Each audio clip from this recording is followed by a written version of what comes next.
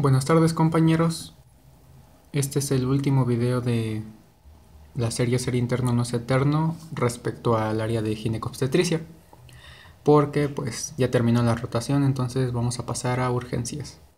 Y en este último video les voy a dar como que los tips o lo que yo considero necesario para que pues su rotación sea más amena y tengan menos dificultades.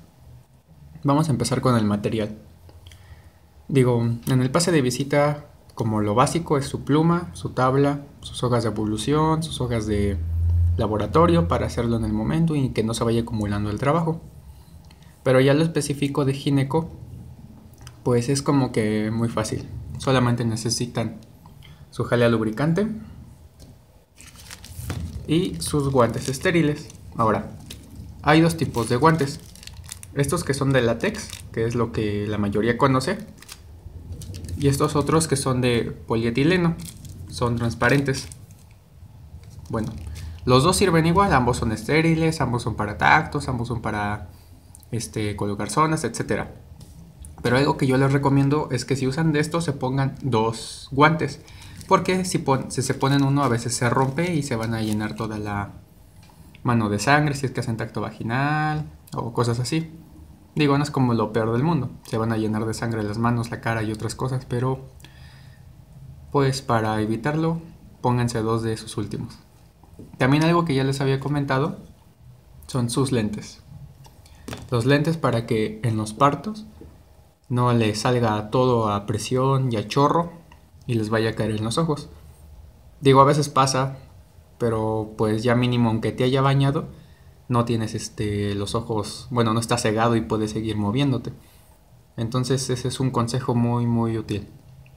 A mí me pasó hasta en cirugía, o sea, ni siquiera era, era algo de cesárea o eso, era una histerectomía, pero en lo que traccionaban el panículo adiposo, fue tanto la fuerza que usaban porque la paciente estaba gordilla, que me botó así como pedazos de, de panículo adiposo en el ojo.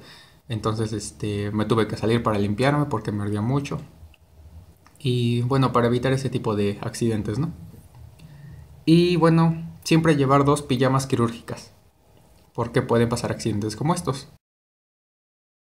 Y bueno, no tengo fotos mías, pero sí me llené a veces este, la cara, me manchó mucho aquí lo que era la zona del pecho y tuve compañeras que de plano terminaban empapadas con el líquido amniótico. Entonces siempre lleven dos pijamas porque pues no está padre estar todo el día apestando a sangre, a líquido amniótico, a meconio, a lágrimas, a sudor, a dolor. Y bueno, eso es en cuanto al material. Ahora, eh, siempre es importante como que aguantar las guardias. Más que nada la posguardia, porque la guardia como sea, mientras estés activo, al menos en mi caso, pues se lleva, se lleva bien, ¿no? Te cansas y todo, pero puedes llevar un ritmo normal. La posguardia es lo difícil. Ya tienes sueño, ya estás cansado, te duelen los pies. Entonces lo que yo hago, solamente cuando estoy muy cansado y de plano necesito activarme, es que se tomen una bebida energética. Yo uso esa marca. Siento que te levanta más rápido y digo, tampoco es que se la tomen diario ni en todas sus guardias, solamente en las que de plano estén tumbados y tengan que seguir trabajando. Por ejemplo, en las, bueno, en la semana que estoy en Toco, y me toca guardia en Toco, entonces es estar este, las 30, 36 horas ahí y pues la verdad sí es muy cansado. Entonces después de la guardia, desayuno, me espero unos 30 minutos y me tomo la bebida para poder aguantar. Porque bueno, es lo que a mí me funciona, entonces yo se los recomiendo. Como les digo, no abusen porque todo en, todo en exceso hace daño. Ahora, ¿de dónde estudiar? Yo recomiendo, bueno, yo, yo soy con la idea de que hay que irse preparando desde ahorita en el internado para el examen de residencia si es que quieran hacerlo. Y como saben, las normas oficiales y las guías de práctica clínica, que no son lo mejor del mundo, pero pues están hechas, es donde se basan para las preguntas. Y es una de las referencias que yo ocupo para estudiar las guías de práctica clínica. Siempre busquen la más actualizada. Y para eso vayan al catálogo maestro. Les dejo el link en la descripción. Y pues ya de ahí estudien por lo menos el tratamiento y el diagnóstico, que es lo que podría cambiar. El cuadro clínico, de epidemiología, hasta la fisiopatología casi siempre va a ser lo mismo. Hasta en las definiciones hay variantes, pero pues eso ya, depende de la patología. También recomiendo los CTO, porque vienen muy, ¿cómo se dice?, resumidos y vienen los puntos clave. Y bueno, yo los tengo en físico, pero si no los tienen, igual les dejo el link para que los descarguen de mi página de CPNIC. Y pues ahí hay igual muchos libros por si desean algún otro. Ahora, yo siempre he pensado que es bueno tener como que un, manual de referencia rápida. Y yo compré este libro. No es nada de promoción ni nada. El ABC de la ginecología y obstetricia. Viene bastante bien. Eh, pues viene así como lo que tienes que saber, el manejo de las pacientes, cómo diagnosticar, y no, te echa tanto choro. O si acaso en algunos temas viene así como que muy... Bueno, te ponen el estudio tal, se demostró que tal, digo como estadística, pero es muy poco, la verdad, no es que abunde tanto la paja. Lo único malo de ese libro es que el tratamiento no viene tan explayado, solamente vienen los puntos clave. Entonces, yo siempre digo que antes de leer un manual o una guía de referencia rápida, ya tienen que haber leído bien este... ¿Cómo se llama? Eh, el tema. Y para eso yo recomiendo la aplicación UpToDate. Si no la conocen, pues es una aplicación que les va a dejar actualizado hasta, por ejemplo, hoy es 27 de agosto.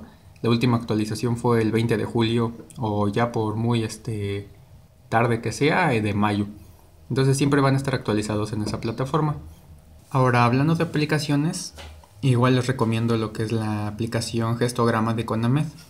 Esto es para rápido estar con la paciente, preguntarle su fecha de última menstruación y ya te va a decir cuántas semanas tiene, te va a decir la fecha probable de parto, eh, te va a decir las acciones que debes tomar con ella, por ejemplo, si estás en la consulta externa, es como de, ah, pues le toca la consulta tal día y para ese día ya tiene que llevar tales estudios y ya le puedes empezar a escuchar el foco cardíaco y cosas así. Es muy útil, la verdad, la recomiendo bastante. Digo, ya tienen que saber todo eso, pero eso es este como de referencia rápida. Y también otra que les recomiendo, esta es más para consulta o cuando estén como que más tranquilones en la guardia, se llama e-contraception, la aplicación. Esta es para ver qué método anticonceptivo es más, mm, digamos, recomendable para la paciente que tengan. Ahí les va a preguntar cosas básicas como edad, cuántos hijos ha tenido, y ya le pueden ir agregando enfermedades que tenga la madre, si fuma, si toma, y les va a dar una lista de, ¿cómo se llama? De, métodos anticonceptivos, del mejor al peor que pueden utilizar. Y pues es gratuita la aplicación y como tal siempre viene con bibliografía para que pues no nada más le crean a una aplicación por creerle. Está sustentada la información. Y ya por último, los temas que deben manejar al 100 o sea, se tienen que saber de pie a pa, al derecho al revés, con los ojos cerrados, tienen que soñar con ellos. Pues, bueno, en obstetricia son más. O es al menos lo que en mi experiencia tuve que saberme más, porque ginecología lo veía como que muy poco. Entonces, obstetricia es el embarazo normal y el embarazo de alto riesgo, obviamente, y todo eso con su control prenatal, los cambios gravídicos normales y pues todo lo que conlleva el embarazo.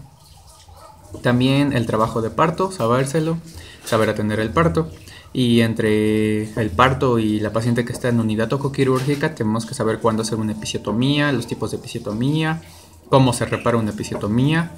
También las pruebas sin estrés, que es algo que se va a hacer este, muy comúnmente en las unidades tocoquirúrgicas, las indicaciones de cesárea y cómo manejar la oxitocina, que aparentemente es el medicamento más utilizado en, en la unidad tocoquirúrgica. Entonces de eso hay videos de en el mismo canal, les voy a dejar los links para que los vayan a checar. Ahora también el puerperio, normal como patológico, la amenaza de parto pretérmino, el aborto, el embarazo ectópico, la preeclampsia es súper importante, van a haber muchas este, señoras preeclámpticas.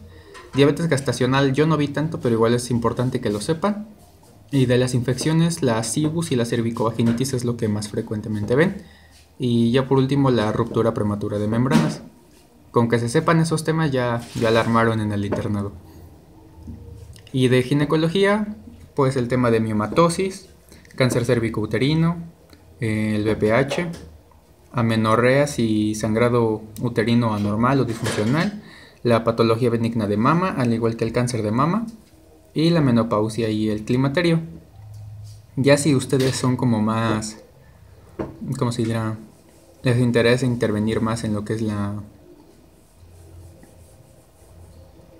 Las cirugías pueden estudiar las técnicas de la cesárea y de la histerectomía, que es lo que más frecuente se hace.